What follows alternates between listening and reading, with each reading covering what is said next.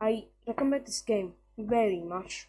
And help the creators on Patreon to help them continue this game because like it's so good. It's so good, I'm not joking. I I recommend this. Oh I recommend this. This is so good. Like help them on Patreon and just try to help them with just just try to help them because because it's uh, very interesting like like this is something new for newgrounds. And yeah peace